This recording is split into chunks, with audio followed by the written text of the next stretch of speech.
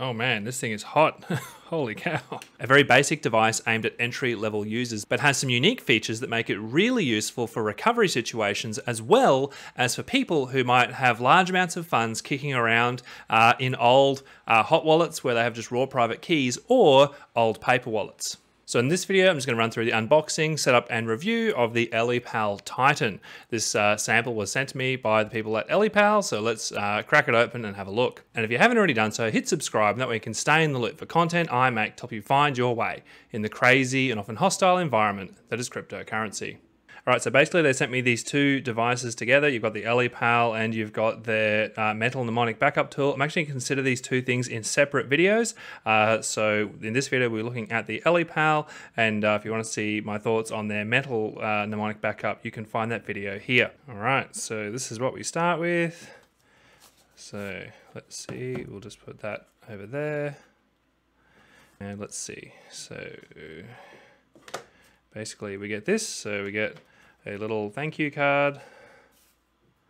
Don't need that.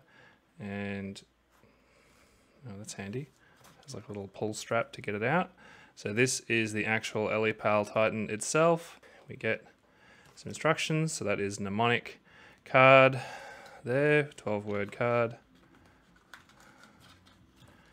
This is little instruction manual. Comes with a 16 gigabyte micro SD, another micro USB cable for the collection and this is the little charging dongle that goes on the bottom there. This is actually just magnetic so I believe that just clips right on. Though it doesn't actually sit flush but we'll see if that's an issue in a minute. And there you go. So that's everything you get in the box.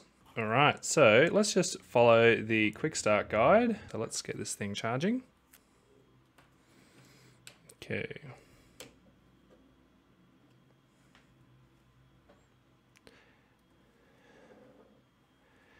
There we go. Okay, and I've actually just got an iPhone for this because it's easier to record the screen. So let's have a look. So we'll just record, we'll just scan the QR code. There we go.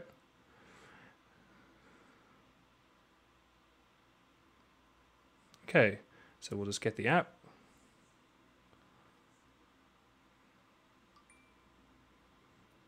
There we go. So that is on its way. Open. Ellipal would like to send you notifications, sure. Yep. Start. Big long terms and conditions. Yep. Okay, so we have an Ellipal cold wallet, so let's do that. Please press the button to scan Ellipal app connect QR code. I'm guessing at this point we need to actually move on to the Ellipal. Let's try and turn it on.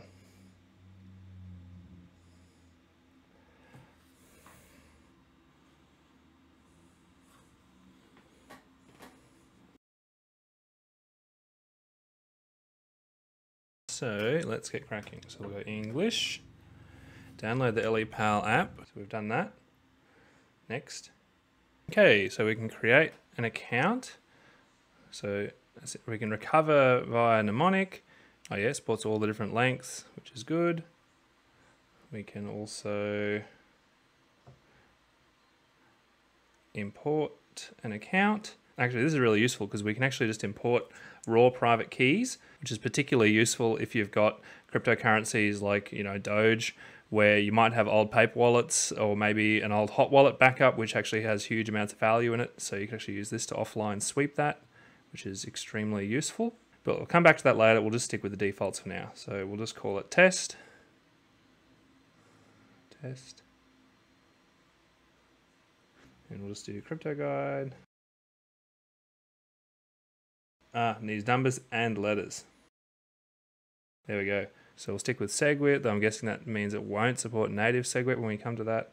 So let's just have a look at passphrase. Oh yeah, someone had asked me about this actually. So BIP39 passphrase can go up to 32 letters and numbers. So we can just use all the standard symbols and things for that. But look, we won't worry about a passphrase just for the purpose of this video. And if you find all this stuff about password, passphrase, and uh, seed phrase confusing, I cover that in this video here. We go create account.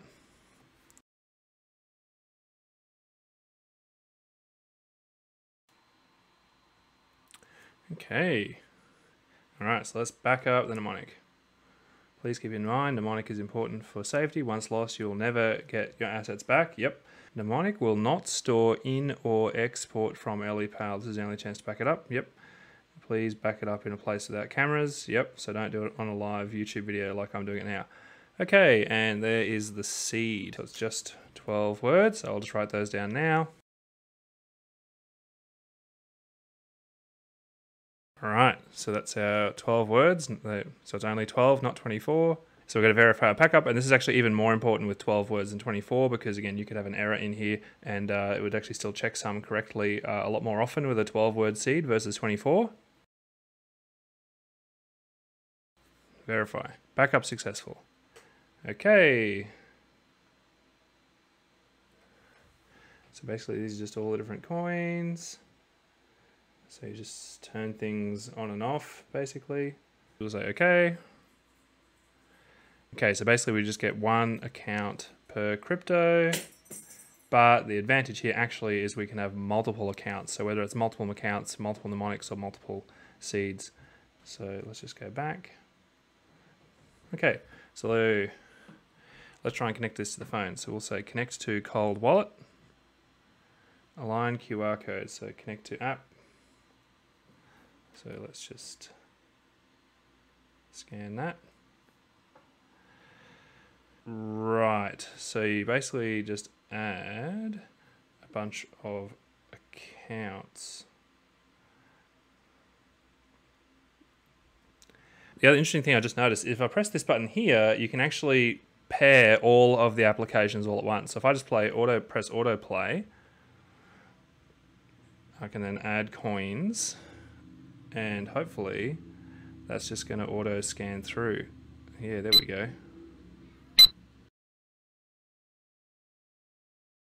Nice. There we go. That's handy. Automatically did them all. So we can say back. Okay. So now all of the same accounts are in here that are in here. And they're even in the same order. That's handy.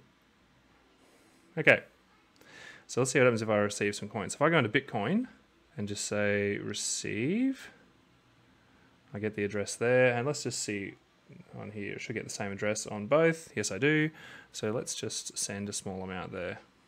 Now, let's see. So the question is, does it show unconfirmed transactions at all? So doesn't seem to show the unconfirmed transactions. The Bitcoin transaction has one confirmation now, so I would have expected to show up at least a little bit. The transaction has two confirmations now. Come on. Let's just try and send a Bitcoin transaction. Okay, so let's give this a crack. So let's send. Now let's see if we can scan this. No. Can't scan an address with a Bitcoin prefix. These fee suggestions are just insane, given that things like one sat per byte is clearing the mempool, 100 sats per byte, like, no way. Look, let's just customize that and just say two. so we'll say the amount, max, Okay, now it works. So we couldn't we couldn't even get the max out button to work before because it didn't think there was enough in there for the fees. Basic QR code generator. Don't do this. This is really insecure. All right, so it can scan native SegWit. It just absolutely cannot handle having the prefix. Oh, here we go. Okay.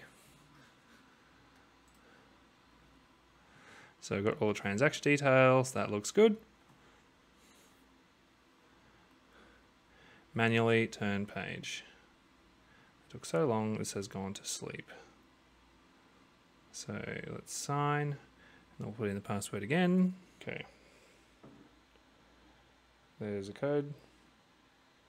Next.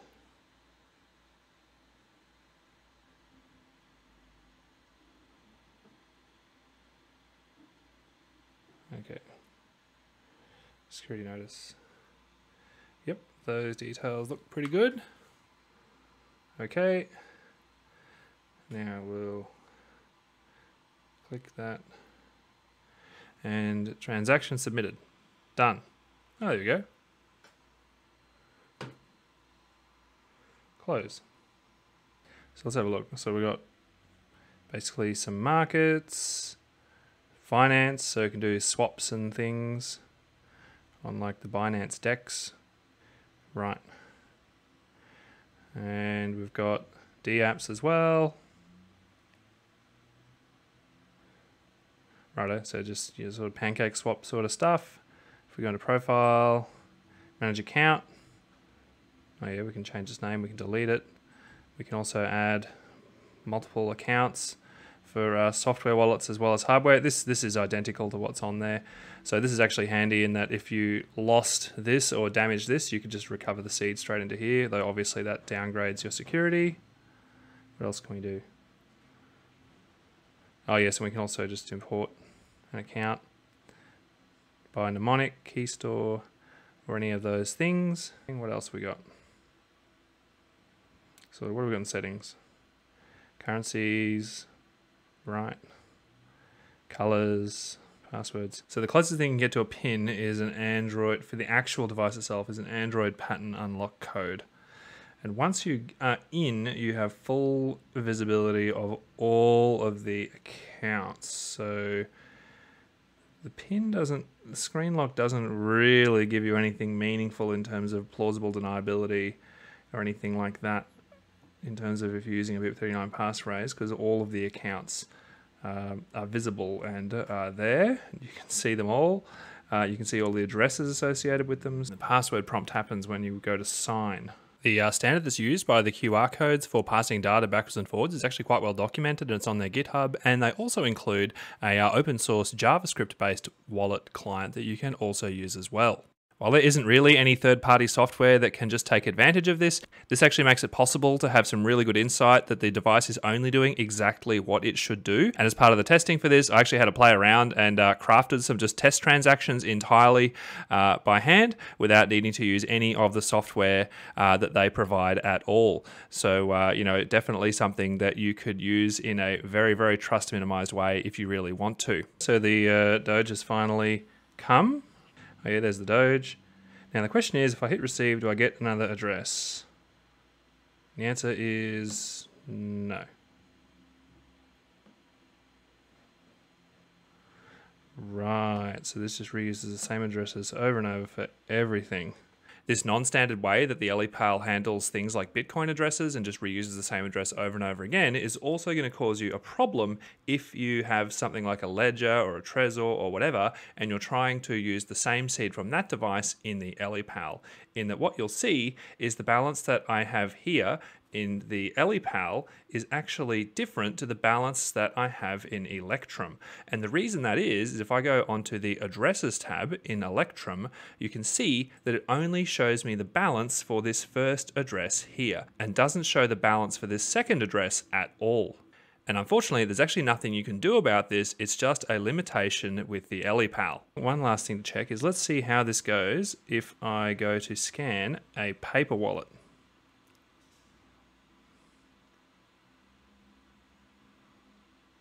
So let's say I've got an old Bitcoin paper wallet.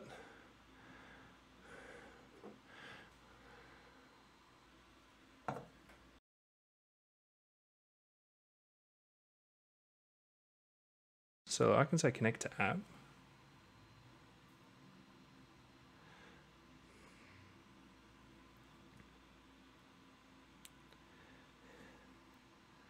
And there we go.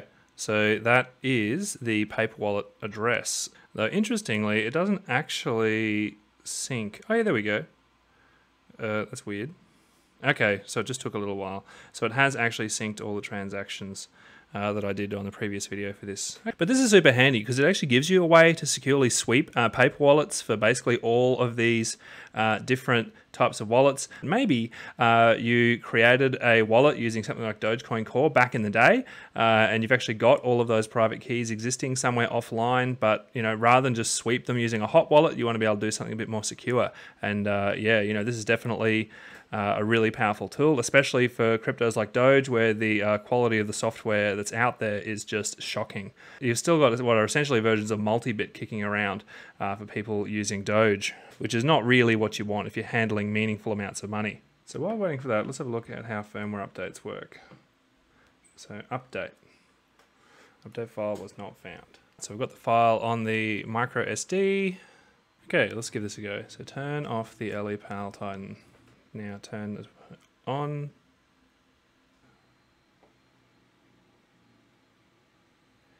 Okay, there we go. So copying files.